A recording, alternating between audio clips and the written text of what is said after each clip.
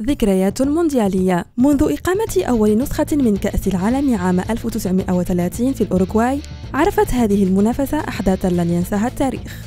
البعض يرى أن جزءا من متعة كرة القدم يتمثل في أحداثها الغريبة والطريفة. إليكم بعدها.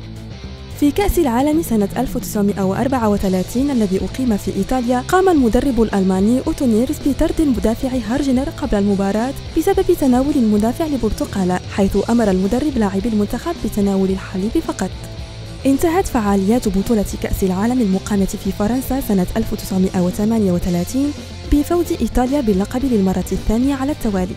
بعدها ألغي المونديال بسبب الحرب العالمية بين 1938 و 1942 خلال كل تلك الفترة قام رئيس الاتحاد الدولي بإخفاء كأس العالم في علبة أحذية تحت سريره خوفا من الفاشيين. في كأس العالم سنة 1950 في البرازيل بعد تأهل منتخب الهند للمونديال تقدم المنتخب بطلب إلى الفيفا بالسماح للاعبيه باللعب دون أحذية لأنهم غير معتادين على اللعب المباريات بالأحذية.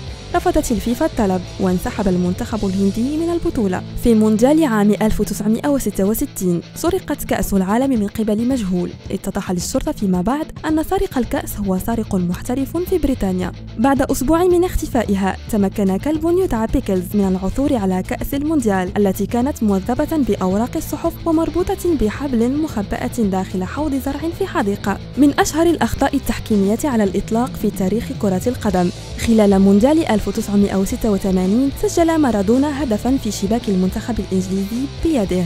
هذا الهدف ساهم بشكل كبير في تأهل المنتخب الأرجنتيني للمباراة النهائية. خلال مونديال 1934 سجل المدافع الكولومبي إسكوبار هدفا بالخطأ في مرماه مما تسبب في خروج فريقه من البطولة. بعد أيام من عودته إلى كولومبيا اغتيل ب 12 رصاصة من قبل مجهولين. خلال مباراة النهائي بين فرنسا وإيطاليا في مونديال عام 2006 استفز المدافع الإيطالي ماتيرازي اللاعب زيدان. فقام زيدان بنطحه برأسه. الأمر الذي استدعى طرده على الفور وفازت إيطاليا وقتها باللقب العالمي. ذكريات مونديالية ستظل عالقة في أذهان جميع محبي كرة القدم.